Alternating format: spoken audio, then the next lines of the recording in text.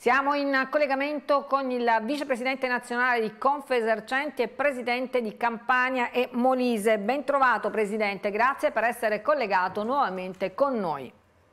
È un piacere stare con voi, grazie a voi per l'invito. Allora, Presidente, un momento assolutamente eh, positivo per il trend turistico, la città di Napoli e tutta la regione, veramente per il ponte di Ognissanti ha battuto eh, numeri eh, da record, eh, c'è bisogno però di eh, migliorare i servizi? Sì, assolutamente, come diceva lei prima, insomma la città, la regione è piena di turisti, fortunatamente, quindi gli alberghi, in, il, gli extraberghieri hanno avuto un riempimento del 90%, quindi ristoranti, guide, accompagnatori, musei, tutti hanno lavorato tantissimo. Ovviamente ci siamo trovati in una città dove c'era tanta immondizia per strada e ci, stava, ci sono state delle difficoltà nei trasporti, quindi è necessario assolutamente poter mettere mano a quello che sono i trasporti nella nostra città e un terzo punto, e non ultimo, è quello della sicurezza. Continuare ad alzare la difesa dei nostri turisti nella città di Napoli perché non possono essere assolutamente vittime dei tanti eh, ladruncoli che stanno liberi per la città. Quindi possiamo dire che Napoli è ripartita alla grande dopo la pandemia, c'è bisogno però di farsi trovare pronti almeno adesso per le prossime vacanze natalizie, dove si prevede un altro momento di grande affluenza turistica, le prenotazioni già volano, è così?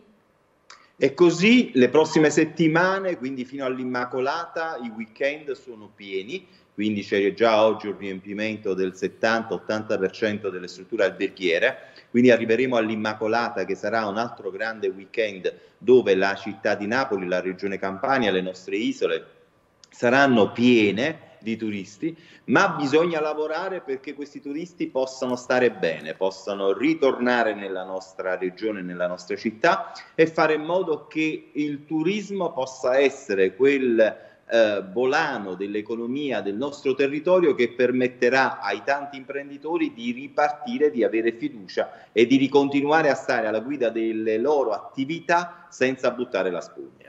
Presidente, questo trend così positivo potrà servire a salvare le imprese che rischiavano fino a qualche mese fa il fallimento? Guardi, il turismo salva sicuramente le imprese del turismo, ma non salva tutte le imprese. Quindi tante imprese delle attività commerciali come quello dell'abbigliamento stanno in grande difficoltà. Anche loro stanno avendo dei benefici dal mondo del turismo, ma ovviamente eh, le porto un esempio. Eh, la città di Napoli, il mondo del turismo ha incassato oltre 20 milioni di euro per questo ponte dei Santi dal 29 al primo eh, di novembre. Eh, di questi 20 milioni, quasi 2 milioni e mezzo sono entrati nelle casse dei negozi di abbigliamento, ma è poca roba perché avrebbero bisogno di incassare mediamente intorno ai 15-20 milioni di euro a weekend che non hanno incassato. Quindi sicuramente il turismo sta dando una spinta all'economia e sicuramente sta fortificando gli imprenditori del mondo del turismo, ma abbiamo bisogno che questo turismo continui a rimanere tutto l'anno da noi, quindi destagionalizzare, fare in modo che non ci siano dei vuoti e questo potrebbe sicuramente dare supporto e aiuto alle imprese, ma non è ovviamente eh, la, la, possibilità, come dire, non è il paracadute per tutte le imprese purtroppo. Confesercenti come legge i primi provvedimenti del nuovo governo targato oh, Fratelli d'Italia, targato centrodestra, guidato da Meloni?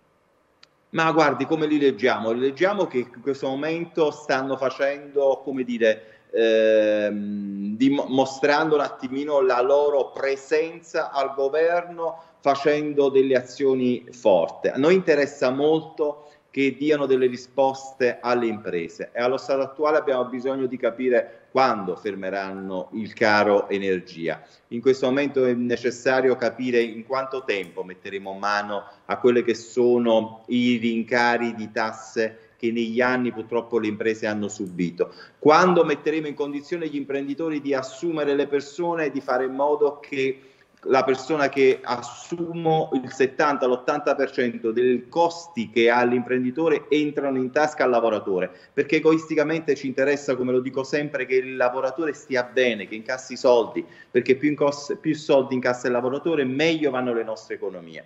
Quindi abbiamo bisogno di capire questo. Ci auguriamo che il governo si eh, esprima quando prima possibile. Noi di Confesercente abbiamo presentato un decalogo dei punti fondamentali per tagliare le tasse, per dare supporto al caro energia, per fare in modo che gli imprenditori possano assumere senza troppi problemi, cercare di mettere mano a quello che è il dramma della burocrazia che in Italia fa morire ogni anno oltre 10.000 imprese. Quindi sono tanti i drammi che dobbiamo come dire, confrontarci e fare in modo che il governo possa darci delle risposte. Stiamo qui ad attendere le loro risposte. Grazie Presidente, buon lavoro, arrivederci.